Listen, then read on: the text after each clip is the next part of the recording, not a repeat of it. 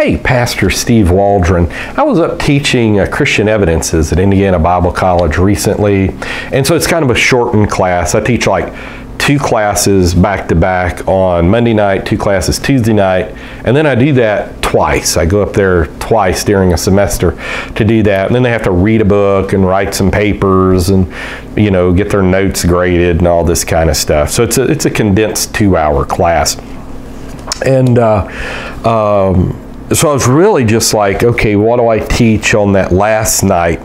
And the argument from the obviousness, and this is a major proof for the existence of God, the arguments from the obvious. And let me just uh, share some of it with you. It says, since matter and energy are neither increasing or decreasing, something beyond matter and energy must have created them. So matter and energy, you know, they might be changing forms, but they're neither uh, decreasing or increasing. This would be like what the second law, first law of thermodynamics. Um, so if they're not, if they're stable, and this is all we can observe is this stability, then something outside of them must have created them okay? And probably something spiritual since this is material and so we know material laws. Now you might say well that's crazy i'm going to dispute the existence of god but wait a second. The current uh, evolutionary theory would say that there was a dot or a pair full of the universe hanging nobody knows where because space and time is inside the pair and then it explodes through mechanisms we don't know about. It's all speculation, trying to fit the observable facts into something material instead of something supernatural, because the basic premise of modern science would be that in a personal level you can believe in the supernatural, but not in a scientific level. Science means materialism. So, like, that's the only material theory that we can currently come up with. Fred Hoyle, uh, with Wickramasinghe, Chandra Wickramasinghe, came up with steady state theory, matter is eternal. But then you start getting it, when you say eternal, you may start getting into supernatural again, the spiritual. Okay, so since matter and energy are neither increasing or decreasing, something beyond matter and energy must have created them. Since neither matter or energy creates, so neither matter or energy creates, something other than matter uh, must have created it, such as spirit. Um, this and this is just the argument from obviousness. And there's some more. That's more one of the more complex ones. Let's go to some of the easier ones. Um, organization requires an organizer. And this would go back to Paley's watchmaker, which I don't think has ever been adequately refuted. I've got here to do like on cells. Um, cells, every cell has walking parts inside to put like ATP and ADP, taking it to the proper places, obviously organized. And so everything we see that's organized, the computer, the phone, the Bible, this table, everything that's organized had to have an organizer. Okay, concepts of moral, just, good, truth, beauty are something beyond materialism. Okay, so if you're just a jumbled mass of organized cells that came from a bacteria, bacteria to man, monkeys to man, instead of from God to man, the descent of man, as Charles Darwin said it, then what is moral? Moral is that which keeps me alive, that which is best for the community. Uh, who defines these things? Justice. Who defines justice? Is the hierarchies we see in the animal realm, are they just? Uh, goodness, truth, beauty the fact that we admire sunsets, sunrise, the smell of flowers, the beauty of flowers, uh, other things, the animals. These concepts would are something that require something beyond ourselves something spiritual, something from a mind that we're in the image of God that has these concepts of justice. God's throne is the throne of justice. These are just obvious things. Since the concept of deity is universal, it must point to something or someone. And I know people try to say they found atheistic tribes, but when they dig down and unpack everything, they believe in God. So some would say this is the evolutionary part of the brain, that evolution required, you know, Freud's totem and taboo and Moses and monotheism, that we would look at our fathers and to maintain some sense of morality. But again, you have very difficult times defining morality and ethics and justice and right and wrong outside of a biblical framework. And something with eternal ramifications fits best, such as Scripture and the Word of God. So the concept of deity is universal. It must point to something or someone. Uh, since procreation, and Romans 1 says that's obvious, uh, since procreation requires multiples with specific characteristics, they must have been sp spontaneous designed for that purpose. Okay, so for procreation, you know, humans at some point got to where a man had certain uh, necessities for procreation. A woman had, you know, a receptacle and a womb and hips for certain things. So leading up to that point, it, it, nothing would work and there would be no procreation and so humans wouldn't exist. Okay? So they had to, it had to be something that was spontaneous and fully formed and fully filled, not just for humans, but for all animals. And so this is something, if you think about it, and that's a basic problem is people don't think. They let others do thinking for them, or they have the argument of authority think for them. But if you just think that process through, it's impossible. And that's the reason, like even Stephen Jay Gould, who kind of uh, recapitulated the uh, spontaneous generation period, the punctuated equilibriums, he's like every 50,000 years, males and females of each species just spontaneously appear. But then you have all of the necessities such as water, air, proper atmosphere, uh, plant life, food that also has to be available for these beings to survive. All right, so this is just obvious. Beauty or nature serves no material purpose uh, oftentimes. Beauty for beauty's sake. So people paint a picture, they make a sculpture, they uh, do these things. It's beauties for beauty's sake. They build a building just for beauty's sake. Um, nature has beauty instilled in it for no purpose. You know, I think it's funny that uh, people, scientists spend all this time instead of finding a cure for cancer or something. What is the purpose of the beauty of the peacock's feathers? Well, it was to scare things off. Well, then they do the test and it doesn't scare things off, you know. So it must have scared something off that's no longer in existence. It was a major predator. So then you're getting into the realms of faith because you're saying, I don't know, I'm just going to have faith. Well, then why don't you just have faith in the obvious that organization requires an organizer, and the things that we see are so fine tunedly organized, they had to have a fine tuned organizer. Okay, so uh, abiogenesis or spontaneous generation does not occur in nature. Life comes from life. This is the laws of biogenesis. You remember Pasteur, Louis Pasteur with Pasteur's beaker. It was assumed before that time, you know, that maggots came out of uh, rotting meat or rotting flesh it was just something that was an assumption, but it wasn't true. So, you know, he put in uh, a beaker some meat and then it had a system of entrances where air could get in to rot the meat so it's not sealed. But at the same time it would keep out you know the maggots and the flies and all this. And you saw that maggots don't spontaneously erupt and so spontaneous generation doesn't occur. Where did the primeval pair come from? The primeval Adam. Where uh, would these things come from? They don't just spontaneously occur. Life comes from life. It doesn't come from electricity.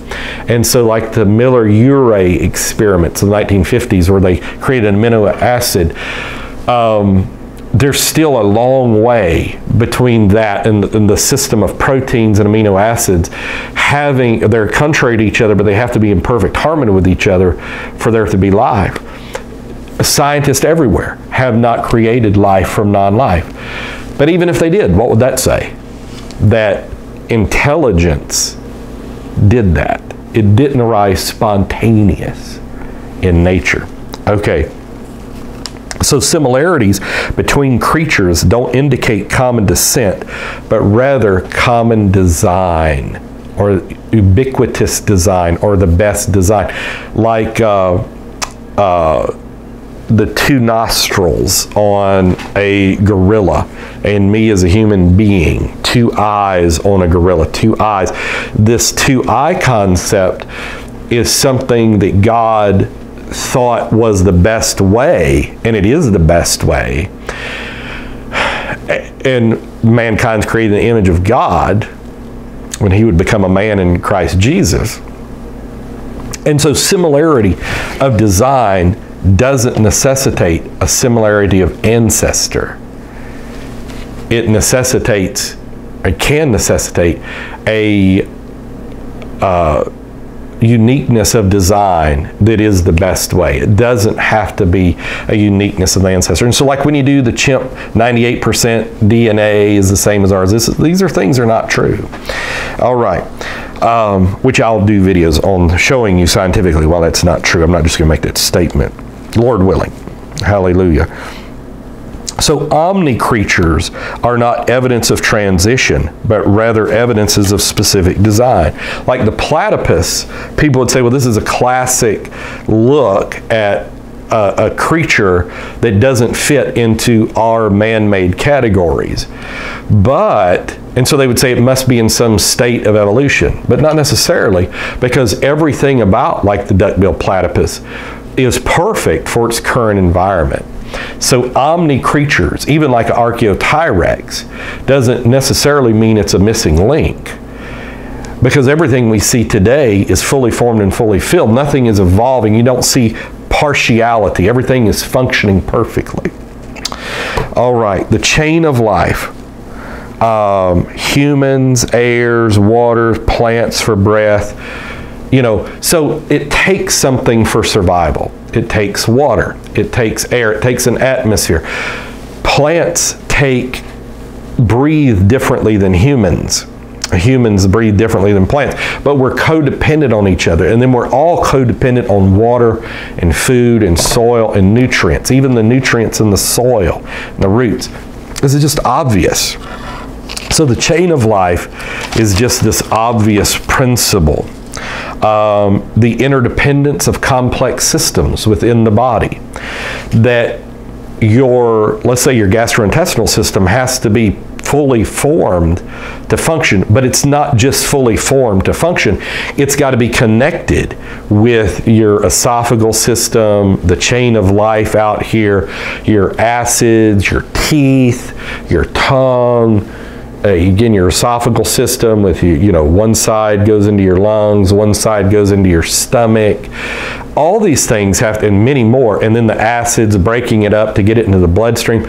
All this thing has to work perfectly as well as our motor skills our eyes our brains, our neurons, has to be working perfectly for any of these things to function. So the interdependence of complex systems um, is uh, totally debunks any type of uh, evolution. It just couldn't happen. This is, a, this is the obvious principle. This is the uh, principle of obviousness in the existence of God. Centropy, like the eye, for example, that uh, this you know, Darwin said it's uh, absurd to think of the eye. He thought these things through, unlike many modern philosophers and evolutionists, that the eye could evolve. It could not evolve because a partial eye is just the glob. All of the rods, everything, the people, everything about the complexity of the eye has to be going at the same time or it's not going to work. It's just not and then you know it becomes from a duopoly to a cyclops to the brain to all this.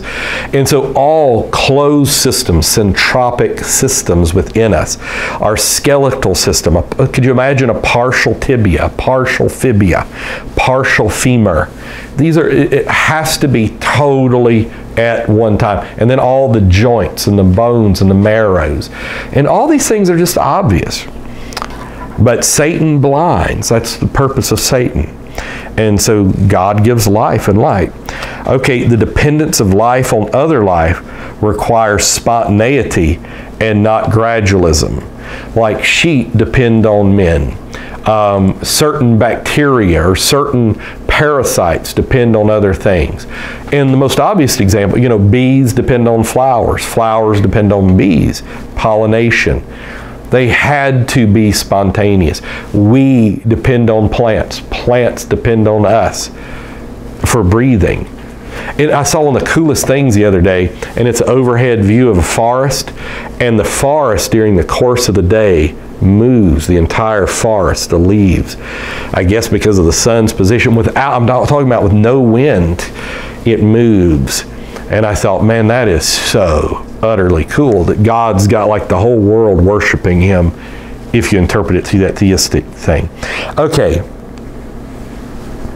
Um, the impossibility of the evolutionary chain, that the evolutionary chain just could not exist because, again, partial systems don't work.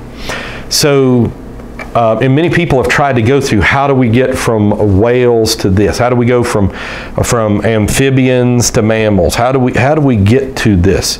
And once you start breaking down all the various features and not just doing a superficial view, but like you know throats and, and all of this, you find it's a total in, impossibility. So the the evolutionary chain is impossible also, the miraculous characteristics of water, which deserves its own video of itself, such as water freezing from the top down, even though it's colder at the bottom, um, is absolutely amazing.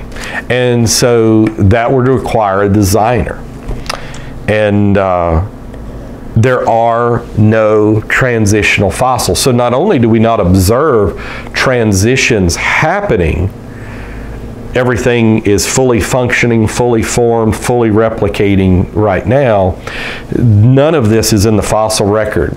Darwin rightly speculated. He said the whole fossil record should be intermediaries. So what you have, and, and it's funny to me, like somebody watched one of my videos and Google's like, I Googled it and there's one million Google searches for transitional fossils. Wow that means absolutely nothing because it could be a million things refuting transitional fossils or it could be all talking about the same disputed transitional fossils. So study it for 30 years and you know and then come that's i'm like really? Have we devolved to this? Which i use google but uh, and devolve that's a play on words there. Okay and that is what we're seeing as mankind is devolving not evolving all right so the fossil record has no transitional fossils and very few even disputed fossils. And definitely not chains, not links. Okay, the smallest organisms are irreducibly complex and have no evolution to come from. The smallest things you see have motors, have engines, and this is scientific, you know, word saying this, have stomachs. And so there's nothing smaller they could have evolved from. And so this is Michael Behe's uh, Darwin's Black Box has only uh, grown stronger in its refutation of uh, Darwinian evolution. Okay, everyone has felt something higher to themselves. Atheists become militant because they feel something. I mean, you look at Jean-Paul Sartre with existentialism. You know, he talks about, he was Trinitarian, he's French. And so he talks about trying to get rid of the Father and the Son. And then he talks about he's down in his basement in the coal room trying to get rid of the Holy Ghost. Well, what he's saying, I mean, he feels something. Um, you know, I don't believe in Santa Claus, but I'm not militantly trying to eradicate Santa Claus from every place. And so, if God doesn't exist, why are people so militant, some of them, in trying to uh, attack? I do find it fascinating that some of the responses on the YouTube channel have been from atheists that say we want to keep Christian traditions because we think it provides for a stable moral society. I think that's good. And yes, Christianity has been used for bad in the past, but not true Christianity. True Christianity is uh, to visit the fatherless and the widows in their affliction, to keep oneself unspotted from the world. Okay, so everyone has felt something higher to themselves. That's Paul in Romans 1.